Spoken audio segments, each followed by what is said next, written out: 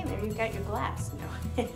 okay, to make it more like a tee now, let me use more pink before we cover it with the red. Is I want to take some of this and make a cord. A little more shortening just here on the top.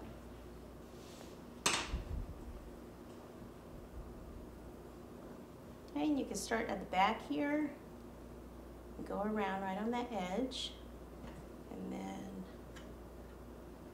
cut that.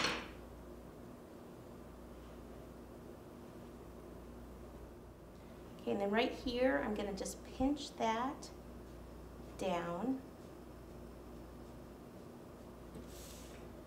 So I'm securing it like inside here and right here.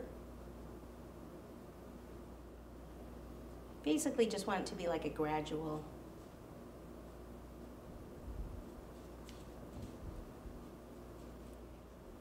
So once I get all that on, then I need to um, put some more shortening on this.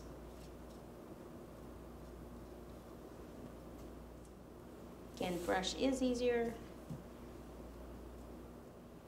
Okay.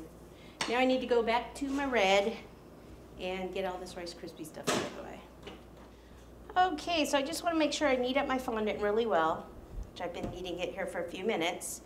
And then I need it to be about the height of that.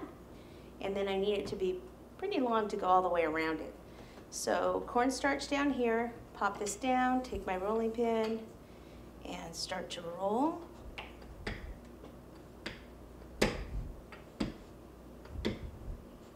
Make sure it's not sticking.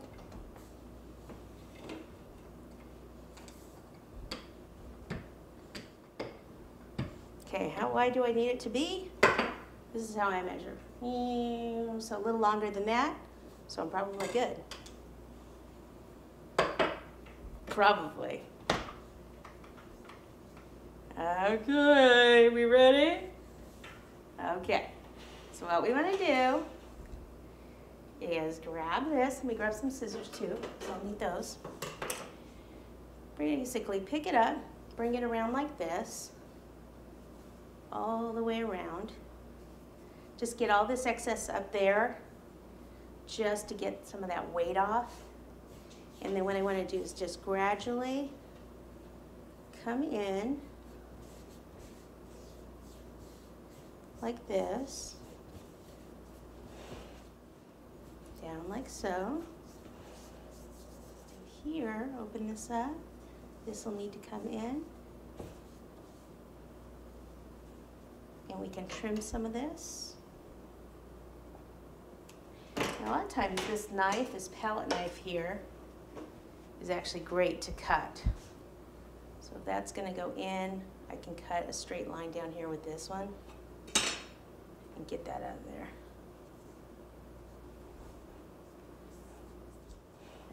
I like to trim a little at a time.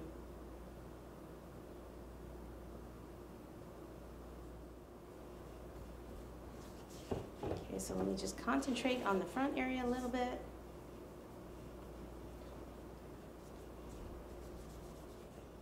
Take some of this excess off in here.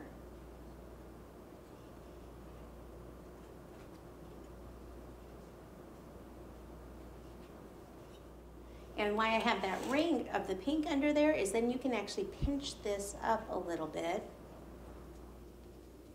And with that board in here, I'm pressing that down and in.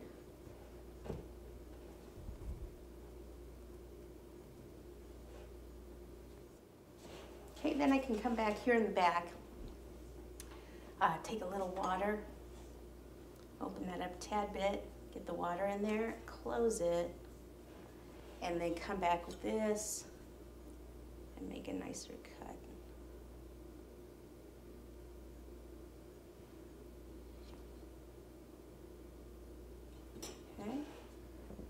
that was probably my previous cut there. So just smooth that and smooth this down.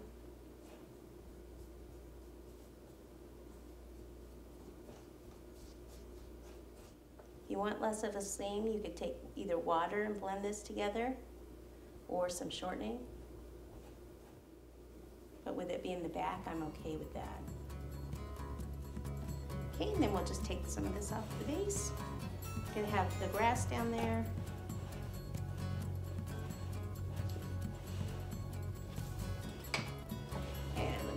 One more time from the front.